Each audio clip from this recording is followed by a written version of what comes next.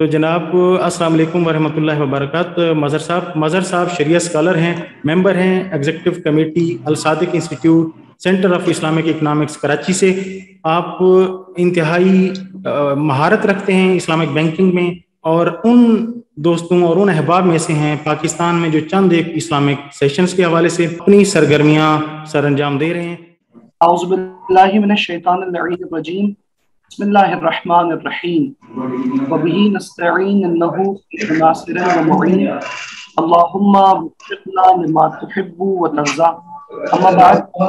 आज हमारा मौजूद अहम मौजूद है an introduction to Islamic finance आज हम कोशिश करेंगे इस्लामिक फाइनेंस के मुतालिक और ये प्रोग्राम जो एग्जेक्टिव बैंकर फोरम के तहत मुनद हुआ है, ये इंतहाई अहम प्रोग्राम है इस्लामिक फाइनेंस के अवेयरनेस के हवाले से।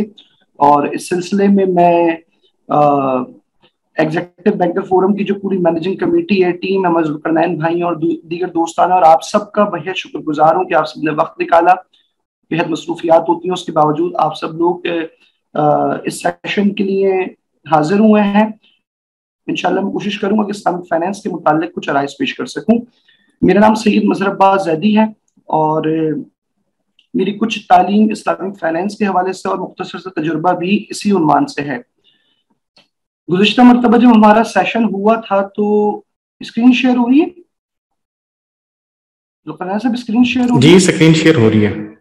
आ, मैं आपको पहले एक इंट्रोडक्शन देता चलूँ कि ये हमारा दूसरा सेशन है इस्लामिक फाइनेंस का। पिछला जो सेशन था उसके अंदर हमने जनरल इस्लामिक इकोनॉमिक सिस्टम के ऊपर थोड़ी सी बात की थी।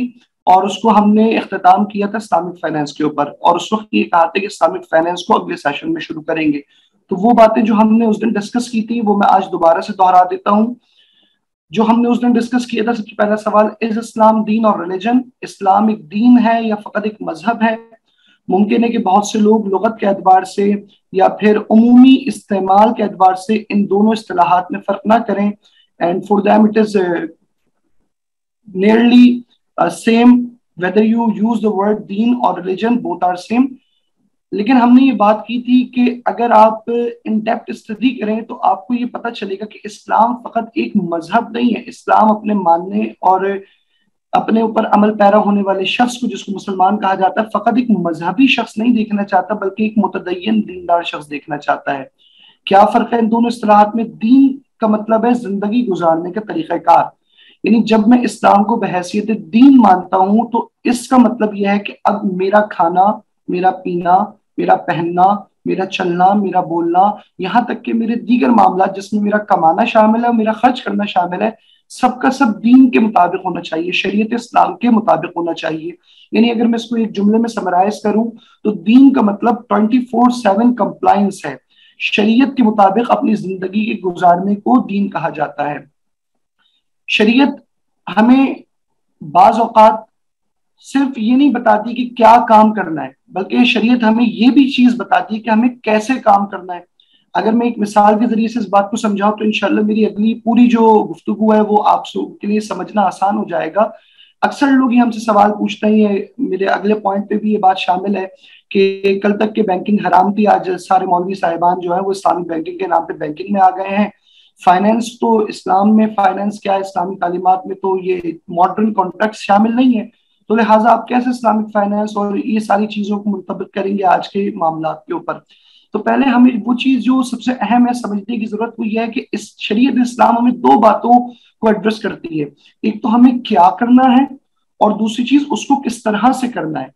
यानी शरीयत फ़िक़ इस्लामी एक कानून का नाम है, एक फ्रेमवर्क है कि जो फ्रेमवर्क हमें बताता है कि क्या चीज़ कर सकते हैं और उसको करना किस तरह से। अब तीन लोगों की मिसाल लीजिए, मैं उमन कुर्बानी की मिसाल ज़्यादा देता हूँ क्योंकि हमारे सामने है और मुसलमान जो है खाने पीने के मामला में बहुत ज़्यादा हलाल हराम की एहतियात करते हैं। हमारे एक दोस्त कहा करते थे, खाने पीने में बहुत ज़्यादा होता है और कमाने के अंदर थोड़ी सी कमी हो जाती है। तो तीन मैं आपको मिसालें देता हूँ। एक शख्स है कि जो एक नजस जानवर, हराम जानवर, मिसाल के तौर पर कुत्ता है या सुअर है ये शरीर इस्लाम के मुताबिक ये नजस जानवर है, ये हराम है, इसको खाना जायज़ नहीं है। अगर कोई शख्स इस जानवर को तमाम शर्त शराइ के साथ जिबाह करे, रूबा कबला करे, तकबीर भी कहे और चारों रगे एक साथ काटे तो आप बताइए क्या इसका खाना हलाल हो जाएगा? तो आप कहेंगे, नहीं, ये चीज़ असलन हराम है। जो चीज़ असलन हराम हो, वो किसी भी जायज़ तरीके के अपनाने से जब तक कि वो चीज़ बेआईन ही मौजूद है, उसी तरीके से वो कभी भी जायज़ नहीं होगी। यानी अगर एक गैर माकूल जानवर, यानी ऐसा जानवर जिसको नहीं खाया जा सकता, उसको अगर कोई बिस्मिल्लाह पढ़ के भी काट दे तो वो जायज़ नहीं होगा। ये पहली मिसाल है। दूसरी मिसाल किस शख्स की सी है? दूसरी और तीसरी, वो वो वो लोग हैं जो मुझ जैसा और आप जैसे हैं। एक मरतबा, एक आप कुर्बानी के लिए जानवर लाया और एक मरतबा कुर्बानी के लिए मैं भी जानवर लाया। आप जो जानवर लाए तो आपने, एक तो वो बिल्कुल वो जानवर था जिसको खाना हलाल है, माकूल लहम है, हलाल और पाक जानवर है। आपने बिस्मिल्लाह भी पढ़ी, तकबीर भी कही, और जो भी कुर्बानी की शराय उन सब की रियायत की और उसको जिबा किया। और मैंने मैंने कहा गाय तो गाय है, बकरा तो बकरा है, और क्या फ़र्क होना है दोनों में? दोनों में से गोश्त निकलना है, दोनों का खून निकलना है। और मैंने इनमें से किसी भी, एक भी अम्र की रियायत नहीं की, यानी मैंने उसको शरीयत के मुताबिक जिबा नहीं किया। तो यकीन आपके जवाब देंगे, आप कहेंगे कि वो शख्स जिसने शरीयत के उसूल को मद्देनजर रखते हुए जानवर को जिबा किया, वो जबीहा कहलाएगा, यानी माकूल लहम कहलाएगा, और वो शख्स जिसने शरीयत के उसूलों की रियायत नहीं की, उसका जो जानवर है वो मुर्दार कहलाएगा और उसको खाया नहीं जा सकता। अब इन तीन मिसालों के ऊपर गौर कीजिए। मैंने आपसे इब्तदा में कहा, इस्लाम एक ट्वेंटी फोर सेवन कंप्लाइंस का नाम है। जब हम कोई भी काम करते हैं तो हम हर पहलू से उसकी तरफ़ तवज्जो करते हैं कि इसका लीगल एस्पेक्ट क्या है इसका सोशल एस्पेक्ट क्या है? अगर हम कोई भी अपने कॉर्पोरेट सेक्टर से मुंसलिक होते हैं, कोई भी काम करने, कर रहे होते हैं, उसके तमाम रिस्क एवेल्युएट होता है।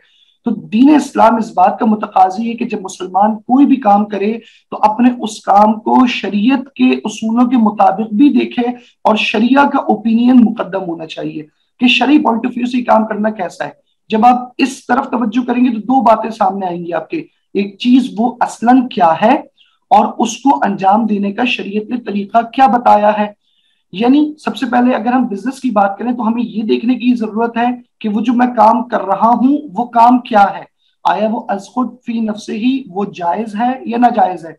अब अगर कोई जायज़ काम है तो फिर ये दूसरा मरहला है कि वो जायज़ काम भी किस तरह से किया जाना चाहिए। लेकिन अगर कोई नाजायज काम हो तो उसको जितने भी अदब व आदाब के साथ कर लिया जाए, वो कभी भी जायज़ नहीं हो सकता। मिसाल के तौर पे कोई शराब का कारोबार करे, अब वो चाहे लाख तमाम चीज़ों की रियायत करे एथिकली काम करे पूरा, लेकिन चूँकि वो जो काम कर रहा है, वो दुरुस्त नहीं है, लिहाजा जायज़ नहीं होगा। जब एक इंसान जायज़ काम कर रहा है तो अब सवाल ये पैदा होता है, उसको किस तरह से करना चाहिए? तो फ़िकी कवानी और शरी अखलाकियात शामिल हो जाती है कि इंसान जो काम कर रहा है, उसमें धोखा शामिल ना हो, गबन शामिल ना हो और रिबा शामिल ना हो, और ये सारी चीज़ें।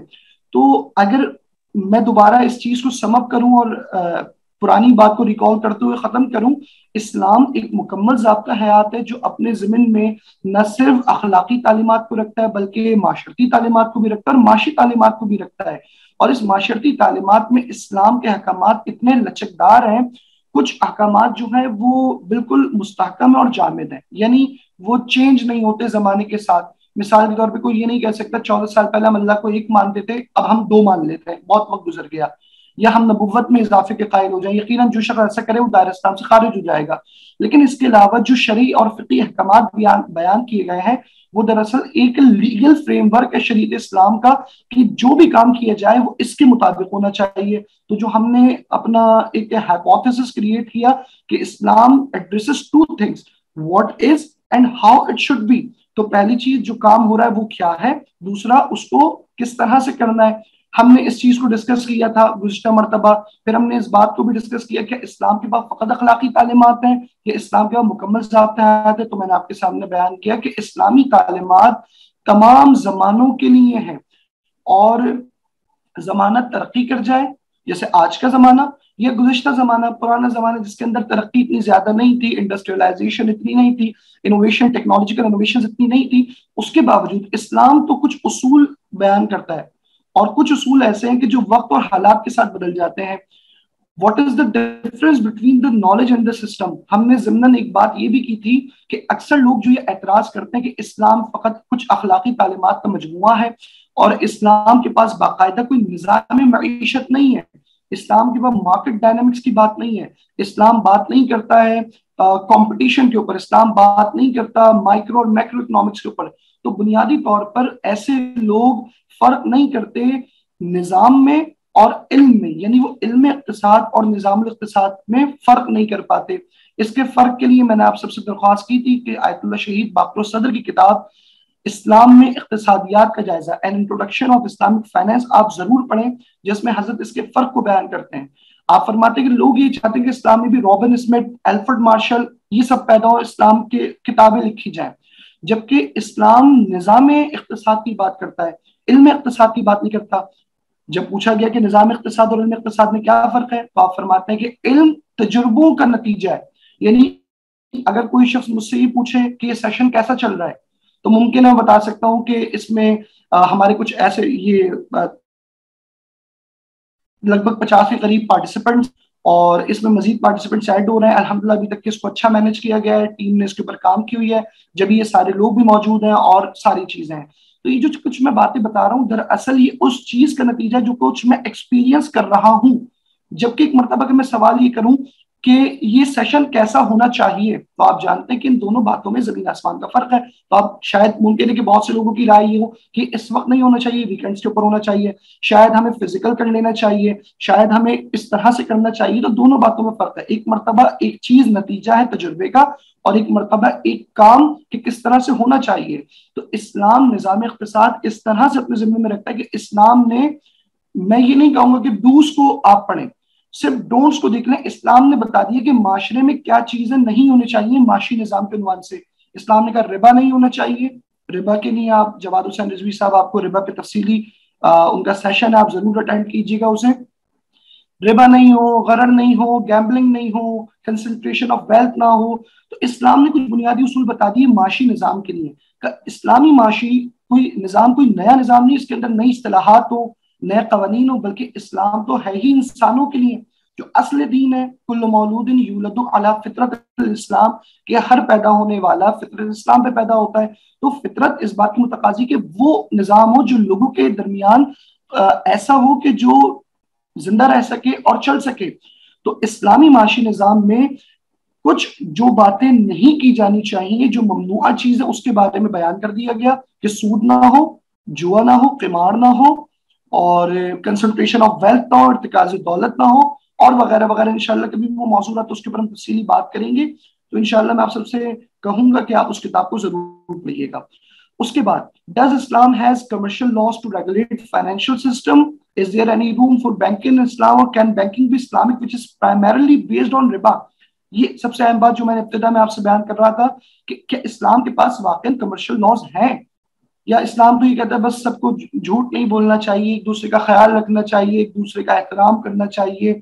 या इस्लाम के पास बाकायदा फाइनेंशियल सिस्टम को रेगुलेट करने के लिए भी कोई निज़ाम मौजूद है। तो हमने ये जाना कि इस्लाम, इस्लामी तालीमत में फ़िकी किताबों के अंदर मामला के उनवान से बाकायदा बहुत सारी झेली किताबें, किताबुल बे किताबुल इजारा, किताबुल वकाला, किताबुल जुआला, ये सारे के सारे कमर्शियल कॉन्ट्रैक्ट्स हैं।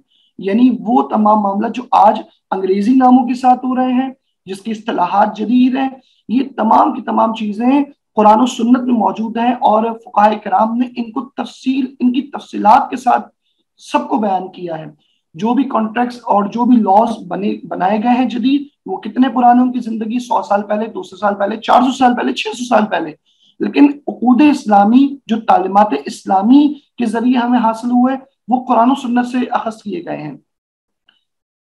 दूसरा, क्या बैंकिंग की जगह तो मैंने आपको एक मिसाल से वाजे किया कि सबसे पहले हमें जो चीज़ देखने की ज़रूरत है, उस चीज़ को देखने की ज़रूरत, मौजू को देखने की ज़रूरत है। आया, अगर मौजू फ़ी नफ से ही हराम है तो उसको किसी भी तरह से ठीक नहीं किया जा सकता। मिसाल के तौर पर जब तक शराब शराब है और वो शराब कहलाए तो उसका बेचना और खरीदना जायज़ नहीं होगा, मगर ये कोई इस तरह की कैफियत हम जुजियात के ऊपर बहस नहीं करेंगे।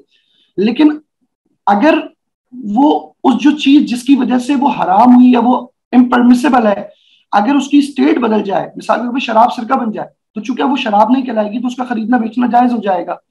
तो सबसे पहले तो हमें ये देखना है, वो जो काम किया जा रहा है, वो उसकी अपनी नौयत क्या है? और अगर वो चीज़ ठीक है तो फिर उसको किस तरह से करना है? तो बैंकिंग के ऊपर अगर हम गौर करते हैं तो बैंकिंग कोई फ़ी नफ से ही हराम मामला नहीं है। अक्सर हमारे दोस्तान मोतरज होते हैं एतराज़ करते हैं, कहते हैं, भाई, बैंक नाम की तो कोई असला ही नहीं है फिर किताबों में। तो आप बैंक को किस तरह से ले आइए तो एक बिदत है। तो हम उनको बताएँगे कि शरीर इस्लाम लफ्जों के ऊपर बहस नहीं करती कवानी के ऊपर बहस करती है। इस्लाम ने मामला करने के कुछ उसूल वजह फरमाए।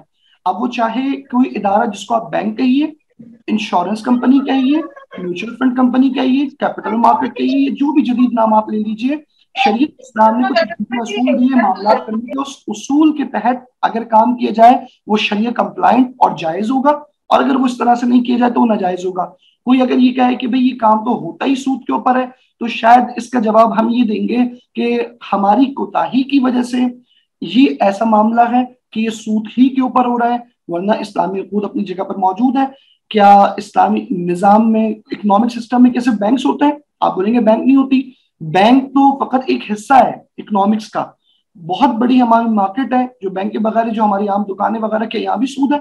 आप कहेंगे, नहीं, यहाँ पे तो कारोबार है, तजारत है, नफा है, नुकसान है। तो इसका मतलब ज़रूरी नहीं है मीशत के चलने के लिए सूद ज़रूरी है, जो अक्सर एक आज नारा बुलंद किया जाता है कि भाई इंटरेस्ट के बगैर काम हो नहीं सकता।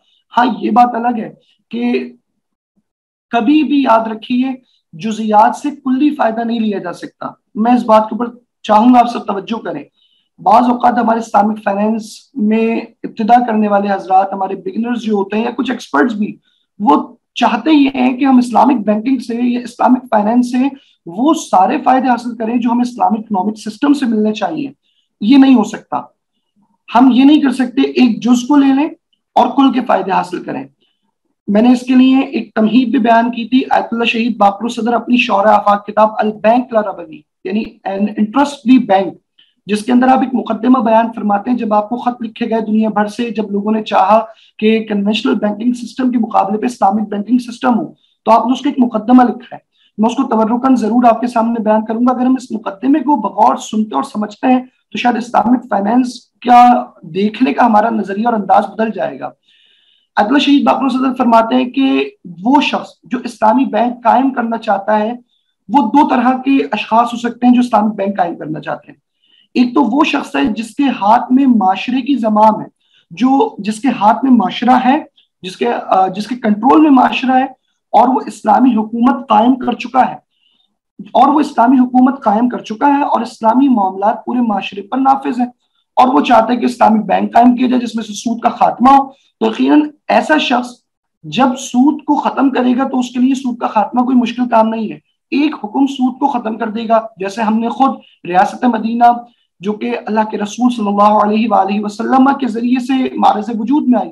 अल्लाह के रसूल ने हुकूमत को कायम किया, रियासत को कायम किया और उसके बाद एक हुक्म दिया कि सूद हराम है और सूद हराम है। और फिर सूद की ममानियत आई और साहब कराम ने मिनवान उस हुक्म को तस्लीम किया और ऐलान कर दिया फ़ाजन बहरब मिन व रसूल है अगर अब नहीं मानते तो अल्लाह उसके रसूल से जंग के लिए तैयार हो जाओ। आप फरमाते अगर ऐसा शख्स जिसके हाथ में हुकूमत है और वो सूदी बैंकारी का खात्मा करना चाहते हैं तो इसके लिए बहुत आसान है। क्यों आसान है? क्योंकि उसके हाथ में हुकूमत है। अब यहाँ पर वो शख्स जो इस्लामिक बैंक को कायम करेगा, ये इस्लामिक बैंक से वो तमाम फ़ायदे हासिल कर सकता है, जिसके लिए या सूद की हरमत के इस हुक्म से वो सब फ़ायदे हासिल कर सकता है, जिसके लिए इसको इस हुक्म को दिया गया था। लेकिन एक दूसरा शख्स है, जिसके हाथ में हुकूमत नहीं है। जो एक गैर सूदी माशरे में रहता है जो एक सूदी माशरे में रहता है, लेकिन वो चाहता है कि इस्लामी बैंकिंग करे, वो चाहता है सूद से बचे, वो चाहता है कि शरीत इस्लाम पे अमल पैरा हो यकीन गैर इस्लामी माशरे में रहना इस बात की इजाज़त नहीं देता कि मैं फिर हराम मामला में ही शामिल हो जाऊँ, बल्कि जितना मुमकिन है मैं अपनी ज़ात तक और जहाँ तक मुमकिन हो सकता है, मैं आगे शरीत इस्लामी के नफाज की अमली तदबीर के लिए कोशिश करूँ। तो आप फरमाते हैं कि पहले शख्स का मौकफ मुख्तलिफ़ है, वहाँ पे मौकफ में वसत है लेकिन दूसरा शख्स कि जो शख्स एक गैर इस्लामी माशरे में इस्लामी बैंक कायम करना चाहता है, सूद को खत्म करना चाहता है तो यकीनन ऐसे शख्स का मौकफ खुद बहुत तंग है। और इस सवाल की तंगी की वजह से अब यहाँ पर सूद की हरमत से या फिर इस्लामी बैंक से, यानी मैं ये कहना चाह रहा हूँ कि जो गैर सूदी बैंक होगा, उससे वो तमाम फ़ायदे हासिल नहीं किए जा सकते जो पहले मौकफ में हासिल किए जा सकते थे। अब यहाँ पर इस्लामी बैंक को कायम करना है, जबकि माशरा गैर इस्लामी है। इस इस्लामी बैंक को ज़िंदा भी रहना है और इस ज़िंदा रहने के लिए, यानी इसको सर्वाइव करने के लिए दूसरे सूदी इदारों के साथ मामला भी करने तो यकीनन यहाँ पर पहली सूरत में इस्लामी एक हुक्म दूसरे की तनफीज और तनसीख में उसकी इम्प्लीमेंटेशन में और उसके खात्मे में एक दूसरे की मदद करते किसी बुराई की, किसी निकी के तशहर के लिए, उसके आगे बढ़ने के लिए। लेकिन जब दूसरे मौकफ की बात करेंगे, यहाँ पे हमें चैलेंजेस आएँगे। जो चैलेंजेस हम आज दुनिया भर में फेस करते हैं, हमारे पास वर्ल्ड ऑर्डर नहीं है। हमारे पास हुकूमत इस्लामी नहीं है। मुमकिन है कि हमारे जो ममालिक है, छप्पन, सत्तावन ममालिक है, वो इस्लामी जमहूरियत के उनवान से हैं। लेकिन हकीकी हुकूमत इस्लामी, जो कुरान सुन्नत के मुताबिक हो, शायद वो चंद एक ममालिक में हो या कुछ खास जोरिस्डिक्शन में, और खास, यानी उसकी वसत जो है वो बड़ी महदूद हो।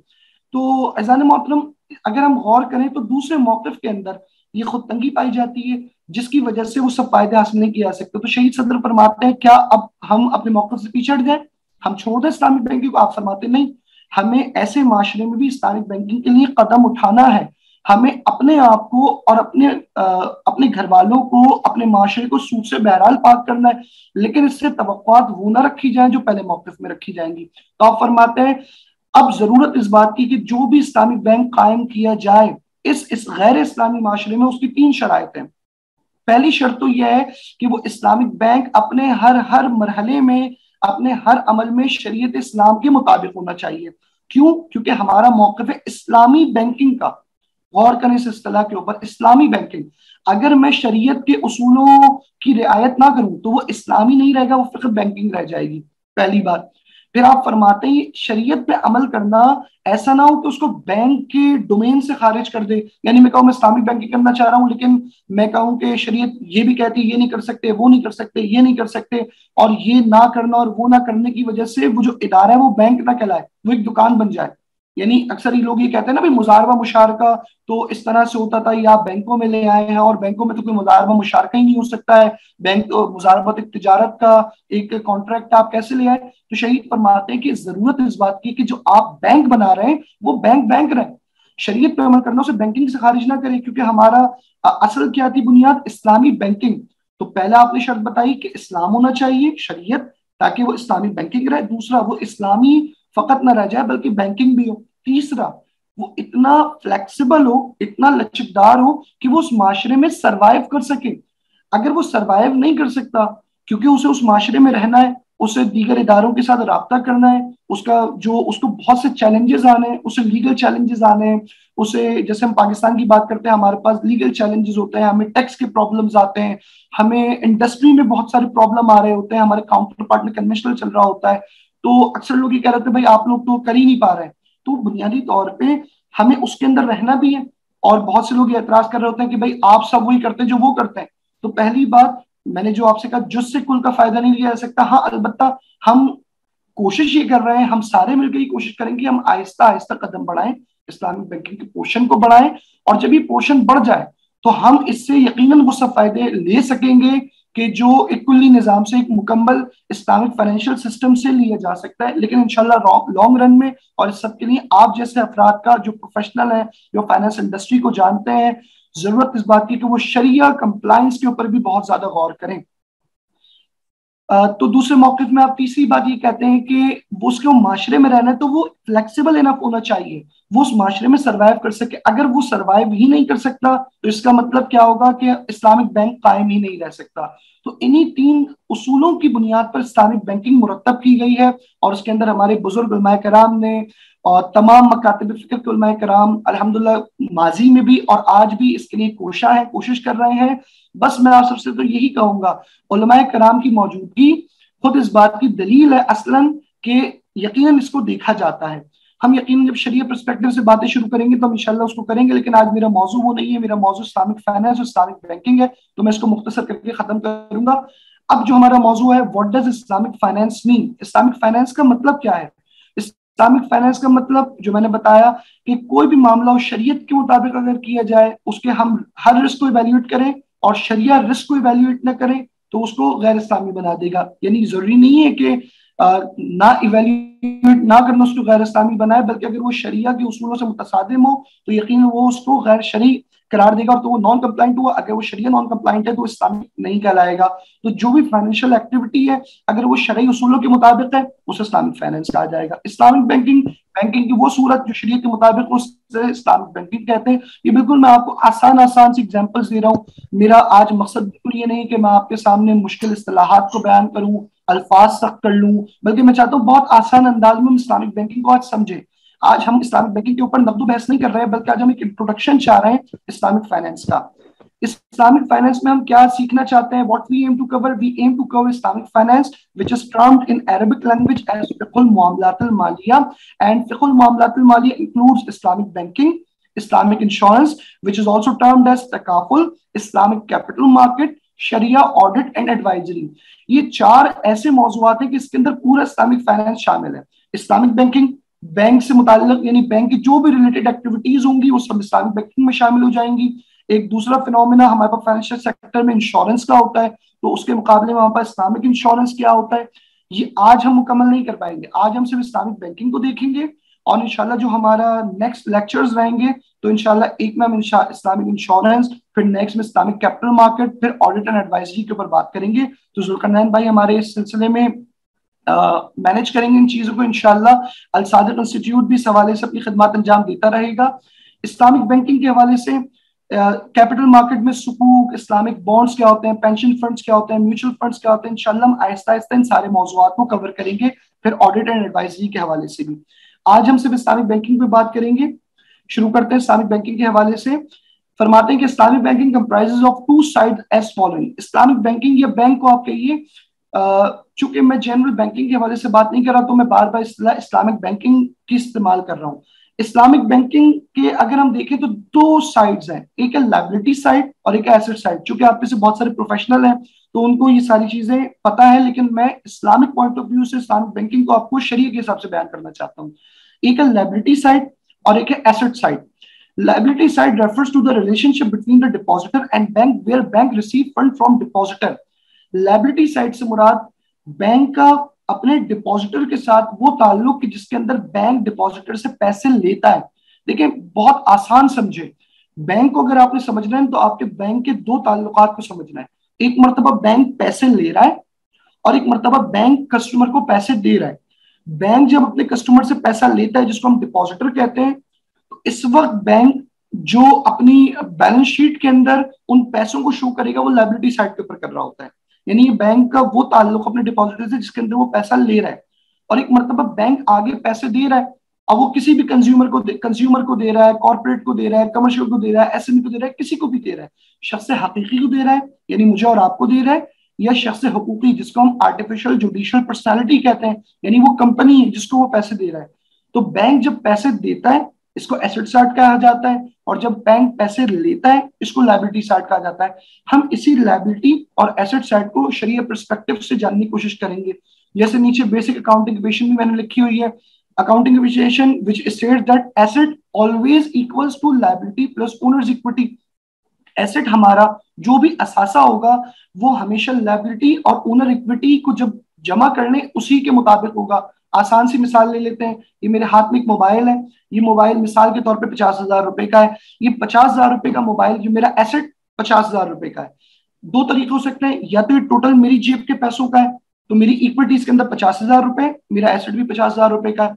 दूसरी सूरत ये हो सकती है, मेरे पास अपने पैसे नहीं है, बल्कि मैंने दोस्त से पैसे लिए, पचास हज़ार रुपए उधार लिए किसी से, किसी वाले साहब ने मुझे दे दिए, मेरे अपने नहीं है। तो वो मेरी लाइबिलिटी है, जो मुझे रीपे करनी है। यानी इस वक्त मेरी इक्वेशन क्या बनेगी? एसेट पचास हज़ार रुपए का लाइबिलिटी पचास हज़ार रुपए की अकाउंट इक्वेशन बैलेंस होती है।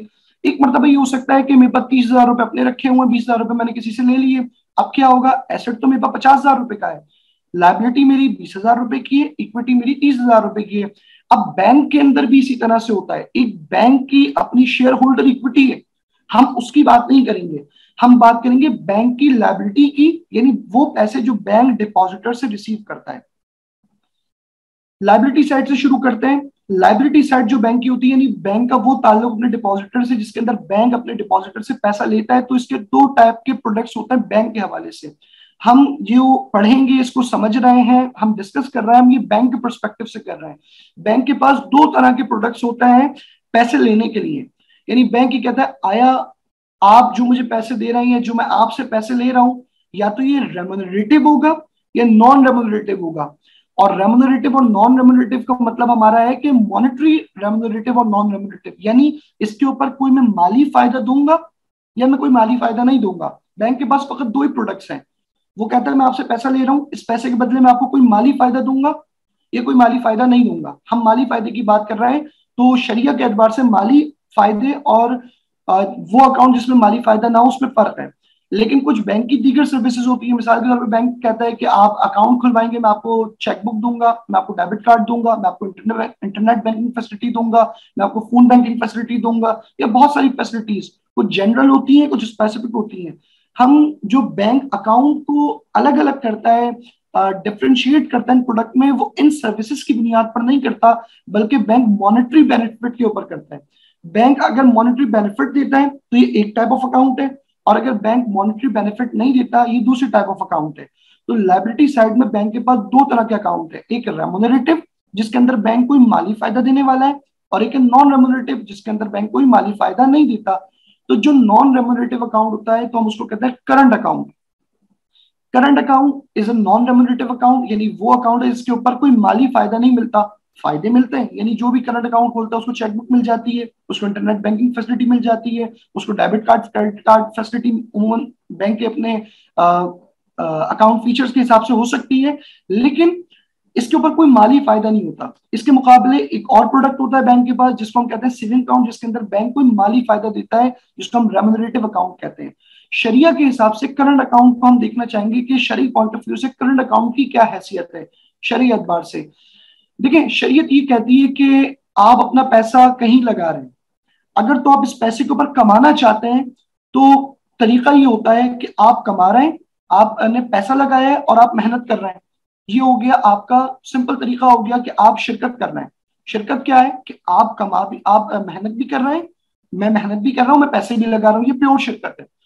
एक दूसरा इसका बाय प्रोडक्ट है जिसको मुजारबा कहते हैं कि मैं मेहनत तो नहीं कर रहा, मैं पैसे लगा रहा हूँ। जब मैं पैसे लगा रहा हूँ तो ये पैसे लगाना इसको कहीं ना कहीं सूती मामला की तरफ़ ले जाता है कि अक्सर लोग ये कहेंगे, भाई, आप कहते हैं कि पैसों से कमाया नहीं जा सकता। पैसे फकत इस्लाम तो कहता है कि मेहनत के ज़रिए कमाया जाता है। इस गैर इस्लामी और आपके वाले में क्या फ़र्क हो गया कि वो लोग भी पैसे देते हैं और पैसे पे पैसा कमाते हैं। आप कहते हैं मुजारबा में एक बंदा पैसे देता है, एक बंदा काम करता है और वो भी। तो हम कहते हैं कि इसमें और उसमें फ़र्क ये है कि शरीयत ये कहती है, जब इंसान कारोबार की नीयत से उसके ऊपर कोई फ़ायदा कमाना चाहता है तो ज़रूरत इस बात की कि उसके अंदर वो रिस्क को भी बेयर करे। यानी वो रिस्क अवॉइड नहीं कर सकता एज पर कॉन्ट्रैक्ट और कंडीशन uh, नहीं डाल सकता कि अगर कोई लॉस हुआ वो तुम्हारा और प्रॉफिट सिर्फ़ मेरा। यानी जो हदीस में आता है अल खराज जमान नफा नुकसान साथ साथ है। यानी मुजारबा और जनरल लोन फाइनेंसिंग में फ़र्क क्या होता है कि इसके अंदर भी पैसे के ज़रिए कमाया जा रहा है। इसके अंदर मैं जब डिपॉजिटर की हैसियत में पैसे दे रहा हूँ तो मैं कोई काम नहीं कर रहा। बैंक काम करेगा मुजारब के तौर पर और अगर कर्ज दे रहा हूँ, उसके अंदर भी बैंक ही काम कर रहा है, फ़र्क क्या है? इसके अंदर मैं रिस्क बेयर करता हूँ कि अगर एक्चुअल बिज़नेस के अंदर लॉस हो जाता है तो नफा और नुकसान में फ़र्क होगा। तो ये एक बेसिक फीचर है, इसका सेलियंट फीचर है, जो इसको डिफ्रेंशिएट करता है लोन से और मुजारबा को।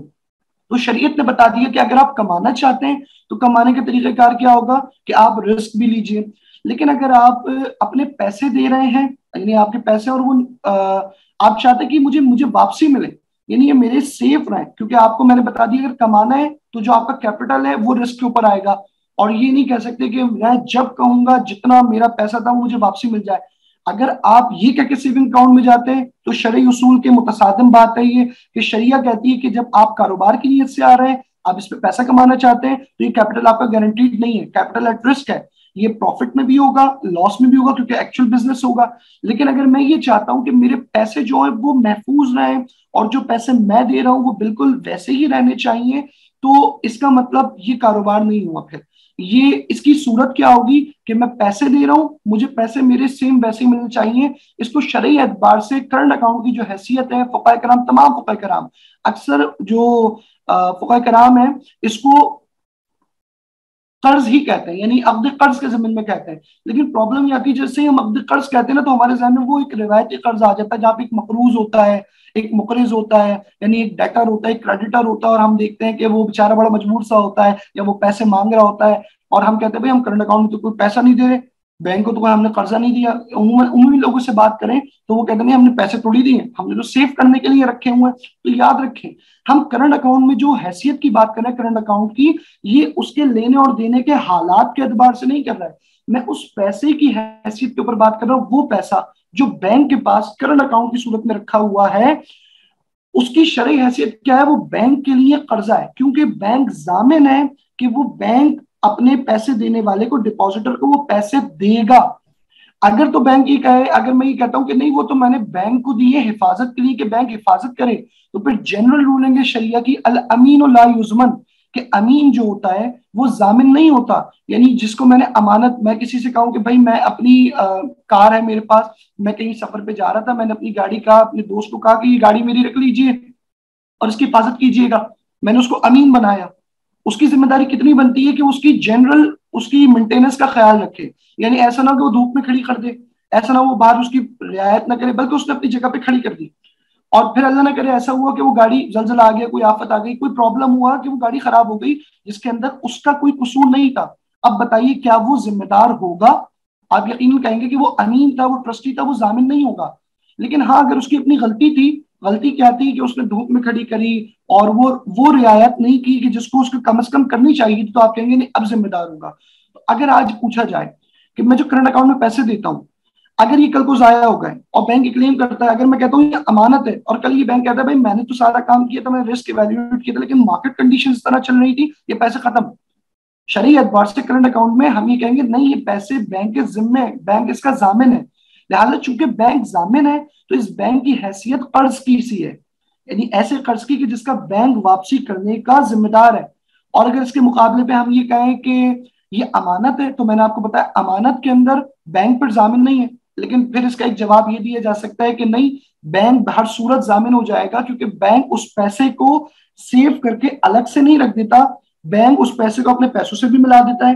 और बैंक में जो भी पैसा वो इस्तेमाल हो रहा है, वही गाड़ी की मिसाल ले लें। मैंने खड़ी करने के लिए दी थी, लेकिन मेरे दोस्त साहब ने कहा कि चले, मैं चलाने के लिए लेके चलता हूँ, और वो चलाने के लिए लेके चले गए। दो सूरतें हो सकती हैं, या तो मैंने इजाज़त दी थी चलाने की कि आप चला लीजिए। इसको शरी इस्तेला में आरिया कहते हैं, यानी बगैर किसी कंपनसेशन के, बगैर किसी इवज के, मैं कह रहा हूँ मेरी चीज़ इस्तेमाल करो आरिया कहते हैं। और अगर ये इवज हो तो इसे इजारा कहते हैं मैं कहूँ मेरी चीज़ आप इस्तेमाल करें, आप मुझे पैसे दे इस्तेमाल करने के लिए इजारा है। लेकिन अगर मैं कहूँ मेरी चीज़ आप इस्तेमाल करें, पैसे देने की ज़रूरत नहीं है आरिया है। लेकिन ये जब इस्तेमाल कर रहा है मेरी इजाज़त के बगैर तो अब क्या हो जाएगा? ये अमाना थी पहले, लेकिन अब ये जामिन हो जाएगा। नहीं, अगर अब ये जाया हो गया तो ये अमानत होगा। लेकिन बहरल पता कैसे चलेगा कि अमानत की बुनियाद पर अकाउंट है या कर्ज की बुनियाद पर? It will describe the account opening form account opening form will describe and will differentiate that either this account is opened on the basis of कर्ज on the basis of amana. ये account opening form है। वो account opening form जिसमें हम उमूमन ये ऐसा होता है कि हमारा बिज़नेस डेवलपमेंट ऑफिसर होता है वो कहता है सर साइन कर दे बस। हम छह सात सात फॉर्म पे साइन करते हैं सीआरएस पे कर देते हैं और जी हेलो अच्छा। अच्छा।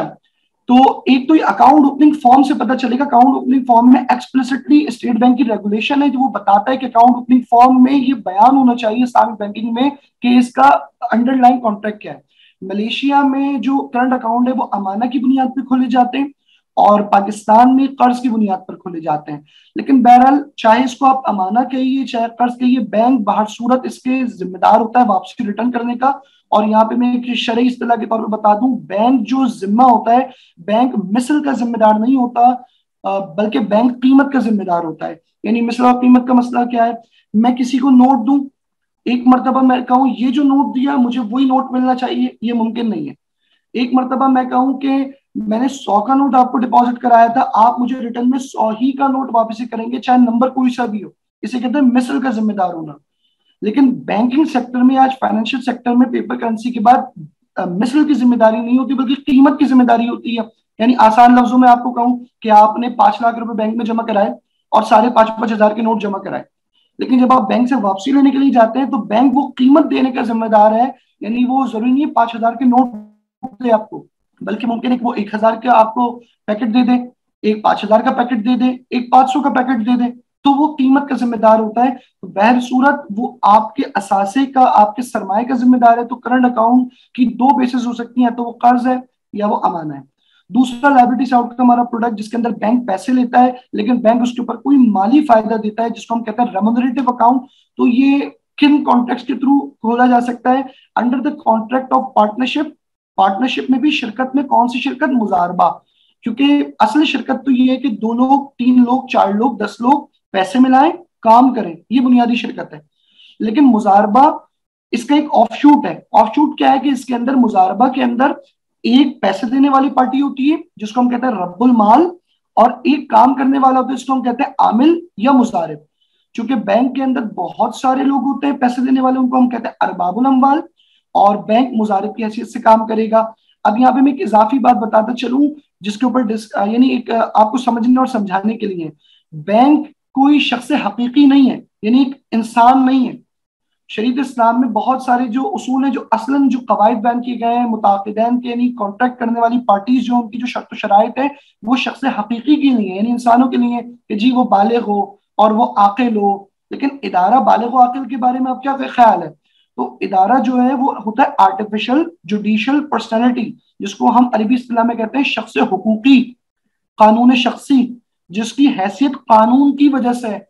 यानी आप ये कहें कि नेस्ले कंपनी है, पेप्सिकोला कंपनी है, इनकी जो अपनी पेमेंट्स होती है, इनकी जो सेल परचेज होती है, वो इनका डायरेक्टर नहीं करता या जो भी करने वाला होता है, वो उसका रिप्रेजेंटेटिव होता है कंपनी का। यानी जो इसके इंतज़ाम होते हैं, इसकी लाइबिलिटी बुक होती है, इसका एसेट बुक होता है, वो under the name of the company होता है।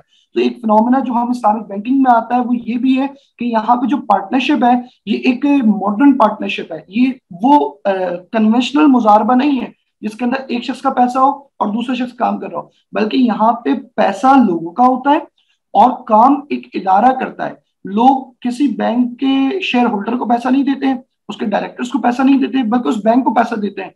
और लीगल लीगल फ्रेमवर्क के एतबार से भी और लीगली भी वो बैंक उस पैसे को इस्तेमाल कर रहा होता है, ना कि वो शख्स उसका मालिक बन जाता है। वरना होना ये चाहिए कि जो शख्स बैंक के बैंक के ब्याप पे काम करे, वो उसका मालिक बन जाए। तो सवाल यह पैदा होता है, क्या शरीयत इस्लाम में इसकी कोई गुंजाइश निकलती है? क्या वाकन इस तरह का हो सकता है कि एक शख्स एक इदारा जो कि कोई शख्स हकीकी ना हो, वो मालिक भी बने, उसकी अपनी ज़िम्मेदारी है वो। तो ऐसी कई मिसालें हैं शरीयत में, जैसे मैंने आपको इतना बताया शरी उसूल मौजूद है। मिसालें मौजूद हैं। हमें आज के जमाने पर तदबीक करनी, मिसाल के तौर पर मस्जिद है। मस्जिद के मामला वक्त के मामला है। मस्जिद वक्त कर दी गई, उसका एक फंड है, वो वक्त कर दिया गया। अब मैं उसका मुतवली था। मस्जिद में पंखों की ज़रूरत थी। मैंने वहाँ से पैसे लिए और मैं पंखे खरीदने के लिए गया। अब असल क्या है? यहाँ खरीदने वाला तो मैं हूँ। तो मुश्तरी मैं हुआ परचेजर मैं हुआ, एक बेचने वाला है। असल ये होना ये चाहिए कि मैं खरीदने वाला हूँ, मैंने पेमेंट की है, मैं उस चीज़ का मालिक बन जाऊँ। लेकिन आप क्या कहेंगे, जो बेसिक शरीय रूल है कि मैं वक्त के मुतवली के तौर पर खरीदारी कर रहा हूँ तो लिहाजा अब जो भी चीज़ इस चीज़ से खरीदी जाएगी, उसका मालिक भी वक्त बनेगा। यानी ये नहीं हो सकता वो पंखे लाऊं और अपने घर पे जाके लगा दूँ, बल्कि वो पंखे मस्जिद में ही इस्तेमाल हूँ, आपको दे रहा हूँ। तो अब बताइए, जिम्मेदार वो शख्स होगा, उसके घर पे चले जाएँगे हम? ये जो अभी करंट मुतवली है वो होगा। तो आप कहेंगे जो करंट मुतवली है वो होगा क्योंकि मस्जिद के जो वक्त के वो अपने इंतज़ाम है। तो शख्स हकीकी और शख्स हकूकी की आज पार्टनरशिप होती है। आज इदारों में पार्टनरशिप होती है तो ये एक आ, मैं चाहता था कि इसको बयान करूँ कि आपके जहनों में ये बात भी रहे। इंशाल्लाह कभी जब हम प्योर शरीय डिस्कशंस की तरफ़ आएँगे तो इसके अंदर ये तफसील करेंगे। अब ऐसा ना हो कि मेरे ऊपर सवाल की भरमार हो जाए। इस हवाले से बस मैं आपको एक आइडिया दे रहा हूँ और बस मैं आपसे दरखास्त करूँगा, इब्तदा में जब हम कोई नई चीज़ सुने तो फ़ौरन ये ना कह दिए भाई, गलत है। गलत कुछ भी नहीं है। यानी क्योंकि लोग देख रहे हैं स्कॉलर्स देख रहे हैं, काबिल अफराद आगे हैं। हाँ ये हो सकता है कि जब मैं पढ़ लूँ तो मैं कहूँ कि इसको इस तरह से हो सकता है, उसकी बेहतरी के लिए हम बात करें। यानी मैं अक्सर एक जुमला कहता हूँ, हमारा कुछ भी कहना, हमारा कुछ भी करना बायस तशवीक हो, बायस तशवीश ना हो। यानी हम शौक दिलाएँ एक दूसरे को इनशाला इसके लिए। तो सेविंग अकाउंट के जो हमारे पास दो नेचर हो सकते हैं। एक तो मुजारबा का हो सकता है। मैंने बताया आपको मुजारबा is a kind of a partnership where one party invest in terms of rupee and the second party invest in terms of work तो the first party who invest the money is called रब्बुल माल and the second party who manages the business is called तो एक हो रब्बुल माल एक हो गया हमारा मुजारिब और जो अकद हो गया वो मुजारबा। इसके अंदर नफा और नुकसान किस तरह से तकसीम होगा? नफा प्री एग्रीड होगा।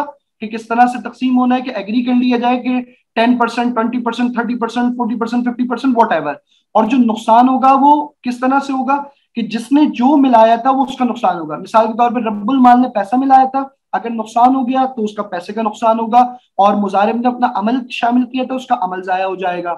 यानी बात ये होता है कि भाई मुजारबा के अंदर मुजारिब भी माली नुकसान उठाए वो माली नुकसान नहीं उठाएगा तो उसने माल नहीं मिलाया, उसकी अमल, मेहनत जाया होगी और जिसने माल मिलाया, उसके माल के अंदर नुकसान होगा। ये नुकसान की सूरत है मुजारबा के अंदर नफा की सूरत मैंने आपको बयान की। अक्सर एक सवाल क्या आता है भाई, आप लोग भी ये पहले से तय कर लेते हैं, तय करना तो गलत है। तो याद रखें, कीमत को तय कर लेना नफा की ये दुरुस्त नहीं होगा। यानी मिसाल के तौर पर मैं ये कहूँ कि आज हमने मुजारबा किया, मैंने और आपने मिलकर, और मैं कहूँ कि मुझे आखिरी में दस हज़ार रुपये नफा चाहिए। ये दुरुस्त नहीं है। लेकिन अगर मैं कहूँ मुझे प्रॉफिट में टेन परसेंट चाहिए, ये दुरुस्त है। आप बोले, क्या फ़र्क हो सकता है दोनों बातों में? अगर तो मैं ये कहता हूँ दस हज़ार रुपये चाहिए तो ये ज़रूरी नहीं है कि वो जो महीने के बाद फ़ायदा हो, वो दस हज़ार रुपये ही का हो। तो लिहाजा अगर मैं कहूँ कि दस हज़ार रुपये चाहिए और फ़ायदा हुआ था मुझे नौ हज़ार का तो मैंने एक हज़ार का जिम्मेदार बना दिया कि आप एक हज़ार दोगे। या नुकसान हो गया तो मैंने कहा, नहीं जी, मुझे ये चाहिए चाहिए। लेकिन अगर मैं टेन परसेंट कहता हूँ तो टेन परसेंट का मतलब है कि जो भी प्रॉफिट होगा और इतना मुन करना ज़रूरी है, इसको डिसाइड करना ज़रूरी होता है, वरना मामले में गरर है। अनसर्टेनिटी क्या होगा, कैसे प्रॉफिट होगा? अगर मैं कहूँ टेन परसेंट इसका मतलब एक लाख रुपए प्रॉफिट हो तो भी टेन परसेंट दस लाख हो तो भी टेन परसेंट दस हज़ार हो तो भी टेन परसेंट ये प्रॉफिट की सूरत हो गई लॉस की। एक ये बात है, जिसको मुजारबा पाकिस्तान में यूएई में यूके में और इन सारी जगहों पे जो करंट सेविंग अकाउंट है, वो मुजारबा ही की बुनियाद पे खोला जाता है उमूमन लेकिन मलेशिया में और चंद ममालिक में जो अकाउंट है, वो मुजारबा की बुनियाद पे नहीं खोला जाता, बल्कि वकालतुल इस्तेमार की बुनियाद पे खोला जाता है। वकालतुल इस्तेमार यानी इन्वेस्टमेंट एजेंसी की बुनियाद पे। वो ये कहते हैं कि मुजारबा जो है, ये एक कमर्शियल कॉन्ट्रैक्ट है जो कि सिर्फ़ बिज़नेस में यूज़ किया जा सकता है। यानी एक ऐसा शख्स जो कारोबार खुद करता हो, उसके साथ मुजारबा हो सकता है। लेकिन चूँकि बैंक तो कोई कारोबार नहीं करता बैंक पर तो बीसीओ के तहत prohibition of trade BCO clause number 26 है गालिबन जिसमें बीसीओ कहता है कि बैंक ट्रेड नहीं करेगा बैंक तो फाइनेंसिंग अरेंजर है फाइनेंसिंग करेगा। तो बाज कराम फरमाते कि मुजारबा सिर्फ़ तिजारत में इस्तेमाल किया जा सकता है, लिहाजा सेविंग अकाउंट इन्वेस्टमेंट एजेंसी के ऊपर खोला जाएगा। इन्वेस्टमेंट एजेंसी क्या होती है कि बैंक एक वकील के तौर पे काम करे एजेंट के तौर पे काम करे इन्वेस्टमेंट के लिए बैंक पैसा लोगों का लगाएगा आगे। और फिर जो प्रॉफिट होगा, वो पूरे का पूरा प्रॉफिट इस इस शख्स को होगा या इन लोगों को होगा जिनका पैसा था और बैंक इसका हकदार है। बैंक अपनी उजरत का हकदार है, अपनी फ़ीस का हकदार है। फ़र्क समझिएगा, मुजारबा के अंदर बैंक बहसीत मुजारब नफा और नुकसान का जिम्मेदार है, क्योंकि वो शरीक है। लेकिन इन्वेस्टमेंट एजेंसी के अंदर बैंक चूँकि वकील होगा तो लिहाजा बैंक बाहर सूरत, हर हालत में उसको उसकी उजरत मिलेगी और नफा और नुकसान पूरे का पूरा नफा होगा। तो इन्वेस्टर का होगा, नुकसान होगा तो इन्वेस्टर का होगा। ये दो मॉडल्स हैं। दो मॉडल हमें मिलते हैं। एक आयतुल्ला शहीद बाकरो सदर ने दिया और जो बहुत सारे फुका कराम फरमाते एक मॉडल ये है कि जो हमारा डिपॉजिटर है, ये हमारा मुजारिब हो सॉरी रब्बुल माल हो हमारा, और जो हमारी बिज़नेस कम्युनिटी है, ये हमारी मुजारिब हो। यानी जो मुजारबा करार पाए, वो डिपॉजिटर के दरमियान हो और हमारे बिजनेसमैन के दरमियान कॉर्पोरेट सेक्टर के दरमियान हो। बैंक का किरदार क्या हो? बैंक इन्वेस्टमेंट मैनेजर हो। तो ये समझिए कि ट्रायो मॉडल है। ये ट्रायो मॉडल क्या कहता है?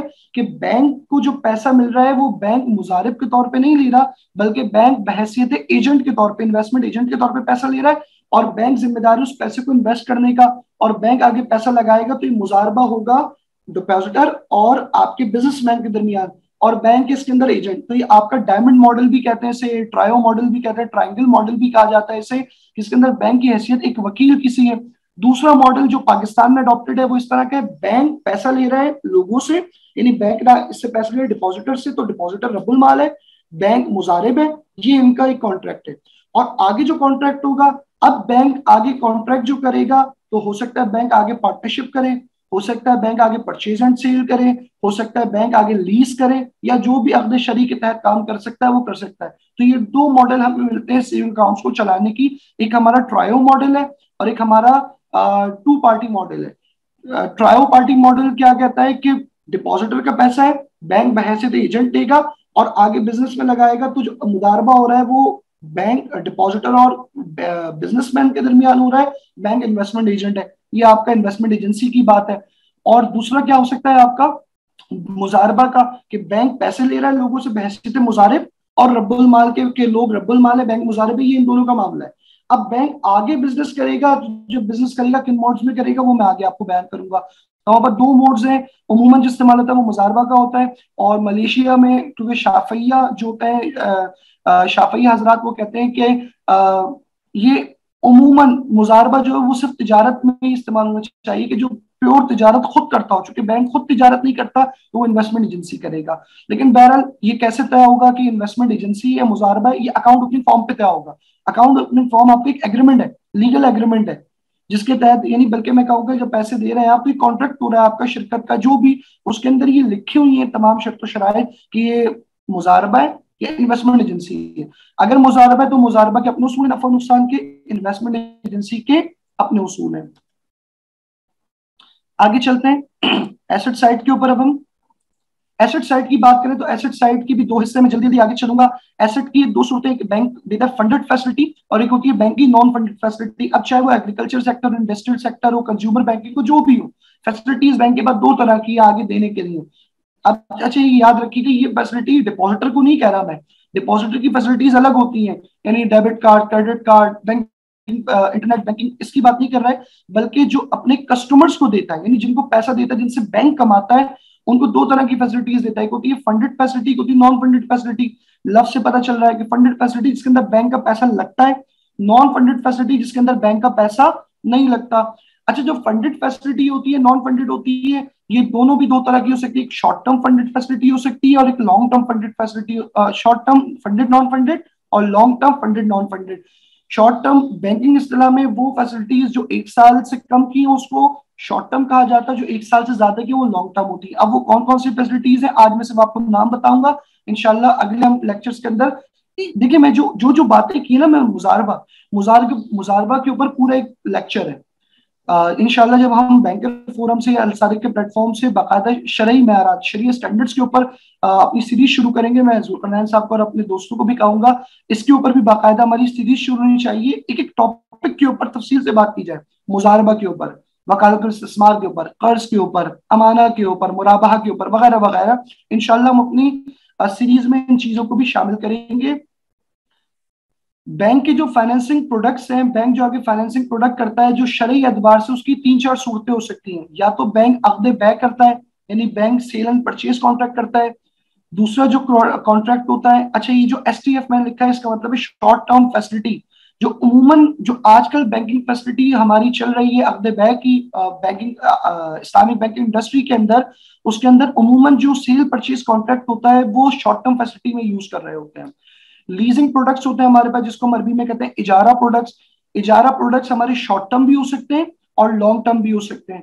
तीसरा जो मोड है हमारे पास, वो पार्टनरशिप प्रोडक्ट्स हो सकते हैं, जिसको हम मुशारका अरबी में कहते हैं। ये भी शॉर्ट टर्म हो सकता है और ये भी लॉन्ग टर्म हो सकता है। और चौथा प्रोडक्ट हमारे पास गारंटी के प्रोडक्ट्स हो सकते हैं, जिसको हम अकद कफाला कहते हैं या अकद जमानात कहा जाता है।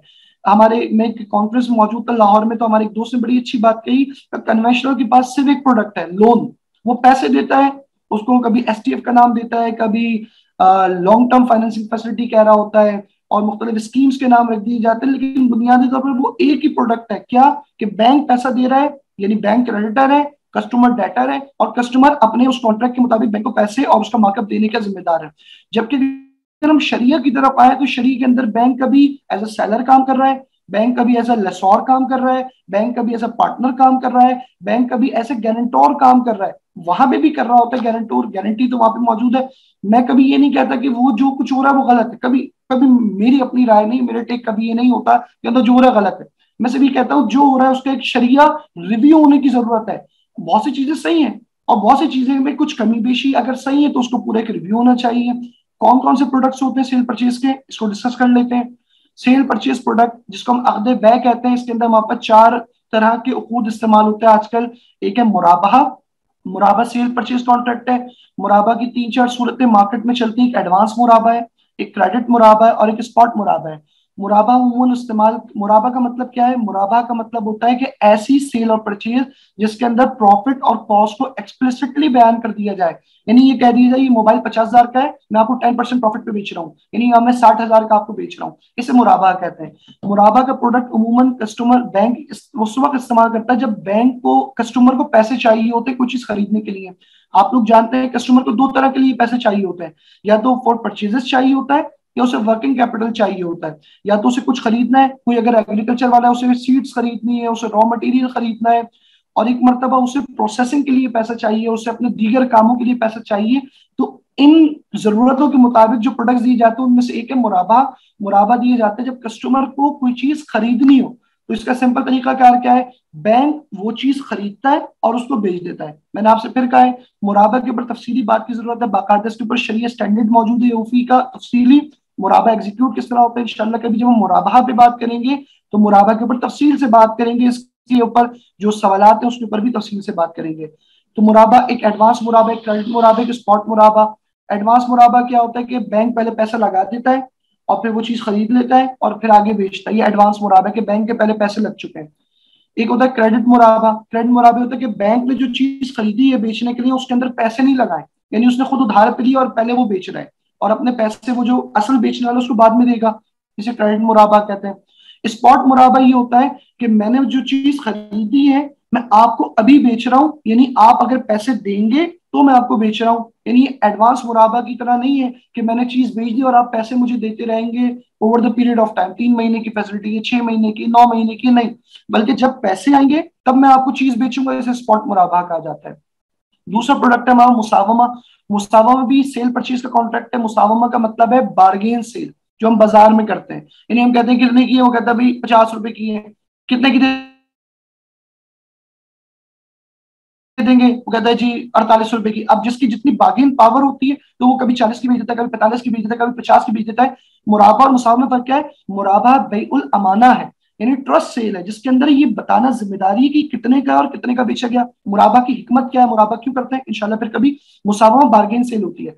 जब हम कस्टमर की इन्वेंट्री फाइनेंस करना चाहते हैं, उसको वर्किंग कैपिटल फाइनेंस करना चाहते हैं तो हम उससे मुसावमा करते हैं। हम मुसावमा क्या करते हैं? हम कस्टमर को कहते हैं, आपके पास कोई फिनिश प्रोडक्ट है? मिसाल के तौर पर अगर वो स्टील वाला है तो उसका जो भी फिनिश प्रोडक्ट है, आटे वाला है, हम कहते हैं, भाई, आटा आप दे दें हमें। हम उससे वो आटा खरीद लेते हैं। इसका सिंपल मैं आपको प्रोसीजर बता रहा हूँ मुसावमा का, हम उसकी इन्वेंट्री परचेज कर लेते हैं। जब मैं इन्वेंट्री परचेज कर लेता हूँ तो बैंक उसका मालिक बन जाता है, कस्टमर को पैसे मिल जाते हैं। अब तीन तरीके हो सकते हैं। वो इन्वेंट्री, अब बैंक ने जो आटा लिया है, उसकी रोटियाँ तो नहीं बकनी है कि बैंक के स्टाफ को खिलानी हो, बल्कि बैंक क्या करेगा? तीन तरीके हो सकते हैं। बैंक मार्केट में जाके खुद बेच दे। बैंक ऐसा नहीं करता क्योंकि बैंक तो ये काम नहीं कर रहा। दूसरा तरीका ये हो सकता है कि बैंक अपना एजेंट अपॉइंट करे और उस एजेंट के थ्रू काम हो जाए। तीसरा तरीका ये हो सकता है कि बैंक अपने कस्टमर को कहे कि आप मेरे एजेंट को बेचने के लिए, जिसे काम कहें सेलिंग एजेंट और आप मार्केट में भेजो क्योंकि आप तो मार्केट में और आप तो काम ही इसी चीज़ का करते हैं। उमन प्रैक्टिस जो है वो तीसरी होती है। इसके खुद अपने रिस्क हैं बहुत सारे। वो क्या है? फिर कभी, लेकिन मुसावमा का बेसिक आइडिया ये है, जब कस्टमर को कोर वर्किंग कैपिटल के लिए फाइनेंसिंग चाहिए हो तो हम कस्टमर से उसकी इन्वेंट्री खरीद लेते हैं और फिर उसके ज़रिए से या एक थर्ड पार्टी के ज़रिए से बिकवा लेते हैं। अच्छा जब बैंक खरीदता है तो मार्जिन रख के खरीदता है। मार्जिन मिसाल के तौर पर एक लाख की चीज़ को नब्बे हज़ार में लेता है। और फिर वो आगे बिकवाता है एक लाख का तो उसके अंदर अपना मार्कअप भी ले लेता है, अपना प्रॉफिट भी ले लेता है और कस्टमर को भी एकोमोडेट कर लेता है। एक प्रोडक्ट है हमारे पास सलम का। सलम क्या होता है? सलम के अंदर ऐसी सेल परचेज जिसके अंदर चीज़ बाद में मिले और आप पहले पैसे दे दें। उमूमन ये जैसे आप कहें कि कोई गंदम खरीदता है तो जो गंदम वाले होते हैं इन्वेस्टर्स होते हैं, वो किसान को पहले पैसे दे देंगे, जबकि उसमें गंदम मौजूद नहीं है। आपको पता है कि कोई भी चीज़ शरीर के मुताबिक खरीदने, बेचने के लिए उस चीज़ का मौजूद होना ज़रूरी है। जबकि सलम के अंदर वो चीज़ मौजूद नहीं होती है। तो सलम एक कॉन्ट्रैक्ट होता है कि हम अगर कोई चीज़ ऐसी जिसके अंदर फ्यूचर डिलीवरी होनी है और हमें पैसे भी दे तो हम सलम का प्रोडक्ट करते हैं। सलम में हमारे पास एक जो ऑफशूट प्रोडक्ट है, वो है करेंसी सलम का। करेंसी सलम जिसमें करेंसी को खरीदा और बेचा जाता है। आखिरी एक हमारा प्रोडक्ट है इस्तना का। इस्तना के अंदर इस्तना जैसे लफ्ज से पता चल रहा है, ये निकला है सना से, स्वाद, नून एन टू मैन्युफैक्चर यानी अगर कोई ऐसी चीज़ हो जिसके अंदर बनाया जाना हो, जिसके अंदर इंसानी हिरफत, इंसानी कारीगरी शामिल हो इसको इस्तना कहा जाता है। सलम इस्तना में क्या फ़र्क है? किसान के साथ सलम होगा। लेकिन अगर कोई आटा बनाने वाला है, मिसाल के तौर पे क्योंकि वो गंदों से आटा बना रहा है, उसके अंदर उसकी कारीगरी शामिल है। कोई फर्नीचर बनाने वाला है तो उसको हम इस्तना का प्रोडक्ट देते हैं। इस्तना जिसके अंदर कोई चीज़ तैयार होगी अब कोई अंगूठी है, अंगूठी जब बन रही है अगर मैं अंगूठी खरीदने जाता हूँ और अंगूठी खरीदता हूँ तो मैं अंगूठी अगर तो मौजूद है तो मैंने डायरेक्ट खरीद ली। ये इस्तना नहीं है। लेकिन मैं कहूँ, भाई, अंगूठी मुझे बना दें। इतनी चांदी होनी चाहिए, ये वाला नग लगा होना चाहिए, ये चीज़, ये कोई भी चीज़ आप घर बनवा रहे हैं, ये भी इस्तना में आता है कि घर इस तरह से होना चाहिए। तो सलम हो, ये इस्तना इसमें जो चीज़ बेची जा रही है, वो कॉन्ट्रैक्ट के वक्त मौजूद नहीं होती, बल्कि उसकी स्पेसिफिकेशंस को बताया जाता है। तो बैंक यूजुअली इस्तना को बहुत ज़्यादा वर्किंग कैपिटल के लिए इस्तेमाल करता है, खसूसन जो हमारी प्रोसेसिंग इंडस्ट्रीज़ है। जब इनको प्रोसेसिंग के लिए पैसे चाहिए होते हैं तो वो अंडर सस्ता पैसे देते हैं। मिसाल के तौर पे, एक गन्ना वाले को आटा बनाना है फ्लोर मिल वाले के वाले को, और उसको पैसे चाहिए तो हम क्या करते हैं? अंडर सस्ता उसको पैसे देते हैं, और जो भी आटा बनेगा, जितना भी हमारी कीमत तय हुई और मिकदार तय हुई है, वो आटा बैंक का हो जाएगा। जैसे ही वो आटा बन के रेडी होगा, मिसाल के तौर पे तब हम वही तरीके या खुद मार्केट में बेच दें, या फिर अपना एजेंट करवा लें, या उसी को एजेंट बना लें। एक इस का प्रोडक्ट है। लीजिंग प्रोडक्ट में, जिसको हम इजारा कहते हैं, दो प्रोडक्ट है वहाँ पर। एक है इजारा जारी, जिसे ऑपरेटिंग लीज कहते हैं। बैंक इजारा जारी नहीं करता, यानी बैंक ऐसा नहीं, घर खरीदता उसको इजारा पर दे दे और गाड़ियाँ खरीदे, इजारा पर दे दे और वो चलता रहे। बल्कि बैंक जो करता है, वो फाइनेंशियल लीज करता है जिससे हम कहते हैं अल इजारतुल मुंतहियत तमलीक यानी ऐसा इजारा जो मिल्कियत पे तमाम होता है। बैंक कभी भी अगर हाउस फाइनेंस करता है या ऑटो कार फाइनेंस करता है तो इसलिए नहीं करता कि बैंक अपने पास गाड़ी रखना चाहता है घर, बल्कि बैंक चाहता है अल्टीमेटली कस्टमर उसका मालिक हो। तो वहाँ पर दो प्रोडक्ट है। इसके आज मैं सिर्फ़ प्रोडक्ट के नाम बता रहा हूँ। वक्त ज़्यादा हुआ हमारा इनशाला फिर कभी इसकी तफसील करेंगे। पार्टनरशिप प्रोडक्ट्स के अंदर हमारे पास मुशारका के अंदर दो प्रोडक्ट्स हैं। एक है हमारे पास रनिंग मुशारका, जिसको हम कहते हैं अल शिरकतुल जारी जिसके अंदर कस्टमर और यानी बैंक और उसका जो कस्टमर होगा कॉर्पोरेट एसएमई जो भी हो सकता है, उसके साथ बैंक शिरकत कर लेता है और वो कंटिन्यूस पार्टनरशिप हमारी चल रही होती है लिमिट्स हो जाती हैं और वो सारी सारी चीज़ें। एक दूसरा प्रोडक्ट है वहाँ पर डिमिनिशिंग मुशार का, जिसको कहते हैं शिरकत मुतनाकसा यानी शिरकत मुतनाकसा ऐसा कि दो लोग मिलकर पार्टनरशिप करते हैं और आहिस्ता आहिस्ता एक पार्टनर की इक्विटी दूसरा पार्टनर खरीद लेता है। अल्टीमेटली जो दूसरा पार्टनर होता है, वो पार्टनरशिप से निकल जाता है और एक जो पार्टनर रिमेनिंग होता है, वो पूरी चीज़ का मालिक बन जाता है। मिसाल के तौर पे दो लोगों ने मिलकर घर खरीदा, दोनों इसके शरीक हैं, लेकिन ए ने बी के शेयर को परचेज कर लिया। तो आहिस्ता आहिस्ता जब वो पूरे शेयर परचेज कर लेगा तो अल्टीमेटली जो ए है, वो मालिक बन जाएगा और बी पार्टनरशिप से खुद ब खुद निकल जाएगा। अब आप कह सकते हैं, इजारा मुंतही तो तमलीक में भी यही होता है और मुशारका, डिमिनिश मुशारका में ये क्यों होते हैं, कैसे होते हैं? फिर मैं वही कहूँगा कि हम इसको बाद में डिस्कस करेंगे। लेकिन लफ्जों का भी आप नाम याद रखें। गारंटी के अंदर जो हमारी फंडेड भी हो सकती है नॉन फंडेड भी हो सकती है नॉन फंडेड जब तक की गारंटी में पैसे नहीं लगे, वो नॉन फंडेड है। और जब लग गए तो वो फंडेड बन गई तो वो उमूमन हमारे पास दो प्रोडक्ट्स है, इसके लेटर ऑफ़ गारंटी जिसको हम खिताब जमाना कहते हैं, और एक लेटर ऑफ़ क्रेडिट जिसको हम खिताब एतमाद कहते हैं। जब तक कि बैंक ने पैसा नहीं लगाया हुआ तो वो नॉन फंडेड है, और जब लगा दी तो फंडेड हो जाएगा। जमानत के अपने शरय अहकाम हैं, उसको जरा देखने की ज़रूरत है। तो जो इसके मुताबिक रीडिंग मटेरियल है, एक बैंकिंग कंपनी ऑर्डिनेंस देखा जा सकता है। एओफी शरीय स्टैंडर्ड्स को ज़रूर देखें। ग्रुप में मैं भाई से रिक्वेस्ट करूँगा, वो ज़रूर शेयर करिएगा हमारे इस फोरम के ग्रुप में। शरीय गवर्नेंस फ्रेमवर्क को ज़रूर देखें, जिसके अंदर इस्लामिक बैंकिंग इंडस्ट्री के लिए इस्लामिक फाइनेंशियल इंडस्ट्री के लिए खसूस इस्लामिक बैंकिंग क्योंकि स्टेट बैंक इस्लामिक बैंकिंग को रेगुलेट करता है और डेवलपमेंट फाइनेंशियल इंस्टीट्यूशन को। तो एसजीएफ को ज़रूर देखें। एस क्या है, उसमें क्या रिक्वायरमेंट है कौन कौन से डिपार्टमेंट्स होना ज़रूरी है तो इससे क्लियर पिक्चर आ जाती है शरीय गवर्नेंस की, कि इदारे में शरीय गवर्नेंस किस तरह होगी। एस की शरीय एडवाइजर रेगुलेशन एक्ट को ज़रूर देखें आप। 2017 का अल बैंक रवावी शहीद बाबर सदर की किताब, मुफ्ती तकी उस्मानी साहब की बहुत बेहतरीन किताब है, फ़िकुल बुयू। इसके उर्दू तर्जुमा भी इस्लामी खरीदो फरोख के अहकाम के नाम से मौजूद है। इसको ज़रूर पढ़ें। हज़रत की किताब फ़िकी मबानी के ऊपर और जो जदीद मौजूद उसके ऊपर तफसील मौजूद है तो इनशाला जब आप ये किताबें पढ़ेंगे तो आप जो सारे सवाल अभी आपके जहनों में आ रहे होंगे, वो सारे के सारे क्लियर होते चले जाएँगे। और इसके अलावा आप स्टेट बैंक के एफ़ को ज़रूर देखें अपने बैंकों के एफ़ को ज़रूर देखिएगा। आज मैंने सिर्फ़ आपको प्रोडक्ट्स के नाम बताए शॉर्ट शॉर्ट और आज हमने सिर्फ़ पूरे क्लियर पिक्चर मैं समअप करूँगा बिल्कुल जल्दी जल्दी बैंक की दो साइड है, एक है लाइबिलिटी साइड एक है एसेट साइड लाइबिलिटी साइड के दो प्रोडक्ट होते हैं करंट अकाउंट और सेविंग अकाउंट करंट अकाउंट या तो कर्ज होता है या माना होता है, इसकी शरय हैसियत की बात कर रहे हैं हम हालात की बात नहीं कर रहे और सेविंग अकाउंट या मुजारबा होगा या इन्वेस्टमेंट एजेंसी वकालत इस्तेमाल होगा। ये हमारा आपकी लाइबिलिटी साइड खत्म। एसेट साइड में बैंक या तो अगदे बै करता है सीरेंट परचेज कॉन्ट्रैक्ट करता है या पार्टनरशिप कॉन्ट्रैक्ट करता है या इजारा कॉन्ट्रैक्ट करता है या फिर आपका आखिरी क्या था, जमानत कॉन्ट्रैक्ट करता है। परचेज और सेल कॉन्ट्रैक्ट के अंदर मुराबा करता है, मुसावमा करता है, सलम करता है इस्तना करता है पार्टनरशिप के अंदर डिमिनिशिंग मुशार करता है रनिंग मुशार करता है और आपके कफाला के अंदर letter of credit letter of guarantee है आपके पास और इजारा के अंदर, इजारा जारी जो कि बैंक नहीं करते हैं और इजारा मुतहद तमलीक ये जिसको इजारा वाले अख्तना भी कहते हैं कुछ कुछ छोटे छोटे फर्कों के साथ, ये एक समी है पूरी, एक एम आई एस है। अगर आपके जहन में ये सब है तो आपके जहन में पूरी इस्लामिक बैंकिंग शामिल हो जाएगी। अब अगर आपका कोई सवाल हो तो इनशाला उसको एड्रेस किया सकता है अगर वक्त हो। इसमें हमारे पास कुछ सवाल हुए हैं, इसे दो मिनट में हम जल्दी जल्दी इसको कंक्लूड करेंगे, क्योंकि ऑलरेडी टाइम काफ़ी इन साहिबान का, तमाम दोस्तों का ले चुके हैं। उसमें हमारे पास एक असद साहब हैं, जेएस बैंक से, उनका क्वेश्चन हमारे पास पहुँचा है कि जो इस्लामिक बैंक्स एटीएम के ऊपर चार्जेस लेते हैं, क्या ये लेना जायज़ है? इसके, इसको आप जवाब दे दें, फिर मैं नेक्स्ट क्वेश्चन की तरफ़ आता हूँ, जल्दी जल्दी में। अच्छा मैं दरख्वास्त करूँगा सवाल के लिए। सवाल अगर प्रेजेंटेशन को समझने से मुतल तो तो करें, लेकिन अगर हम इन बहसों में चले जाएँगे ना तो ये खुद बहसें बहुत बड़ी बड़ी हैं। मैंने आपसे कहा कि मैंने सिर्फ़ चीज़ों को बयान किया है, उनकी तफसीलात को बयान नहीं किया। लेकिन फिर मैंने आपसे कहा, लेना जायज़ है, क्योंकि अगर कोई भी इस्लामिक बैंक है, उसका शरिया बोर्ड है। जो भी प्रोडक्ट हुआ है अप्रूव फाइनेंसिंग प्रोडक्ट है या कोई भी चार्जेस लगे हम उसके शरिया ने देखें तो आप इस पर यकीन कर लीजिए शरिया ने ओके किए तो शरीय के मुताबिक और ठीक है। मोहम्मद अली साहब जी मोहम्मद अली साहब ने क्वेश्चन किया है कि करेंसी सेल परचेज क्या हम कर सकते हैं? Dollar dollar rupees sale purchase जैसे कमोडिटी कराची सलाम हमारे बाकायदा एक प्रोडक्ट मौजूद है 2014 का सर्कुलर स्टेट बैंक का जिसके अंदर उसने बिल डिस्काउंटिंग के ऑल्टरनेट के तौर पे करेंसी सलाम दिया है। मैं रिक्वेस्ट करूँगा अपने भाई से कि करेंसी सलाम का जो स्टेट बैंक का सर्कुलर है उसको ज़रूर पढ़ें और करेंसी सलाम के मुताबिक थोड़ा सा देखें और बिल्कुल इसको किया जा सकता है। इसमें इस्तना के अंदर वो सवाल किया गया है कि do we give cash to manufacturer जी जी हम कैश ही देते हैं। मैन्युफैक्चरर को तो हमने कैश ही देना है। ये प्रोडक्ट की खासियत ये है इस्तना की कि इसके अंदर कस्टमर को पैसे मिल जाते हैं। जबकि मुराबा के अंदर वो परचेज करना चाहता है तो हम पैसे उसे नहीं देते, हम डायरेक्ट सप्लायर को देते हैं। मुसावमा और इस्तना में हम कैश देते हैं, क्योंकि हम चीज़ खरीद रहे होते हैं तो चीज़ खरीदने तो उसकी कीमत जो उसी को देंगे।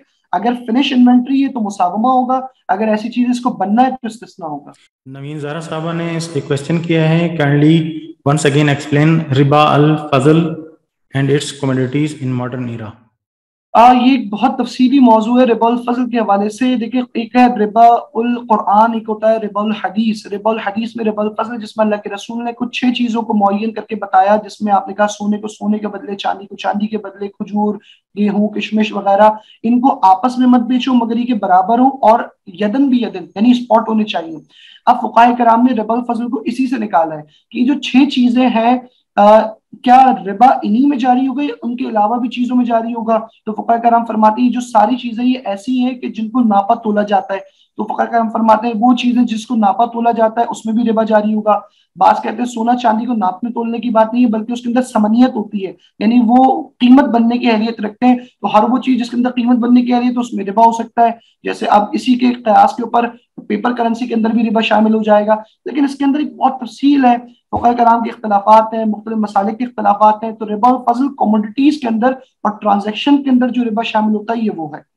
सैदा अरीशा अनवर ने क्वेश्चन किया है। काइंडली रिपीट वकाल इस्तमार वकालतुल इस्तेमार वकील का मतलब है एजेंट इस्तेमार इन्वेस्टमेंट यानी जो बैंक है वो डिपॉजिटर से पैसा लेगा आगे इन्वेस्टमेंट के लिए।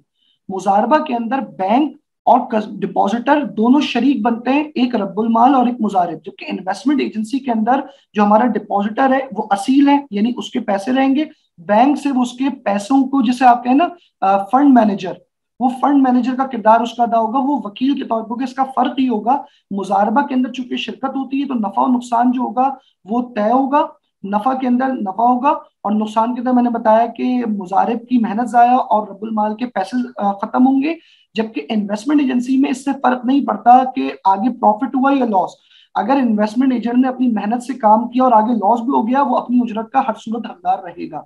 जी थैंक यू किबला सवाल और भी आ रहे हैं लेकिन टाइम चूँकि ज़्यादा है। एक अच्छा, सवाल सवाल देख रहा हूँ मैं दरख्वास्त ही करूँगा भाई आपसे और अपने दोस्तान से।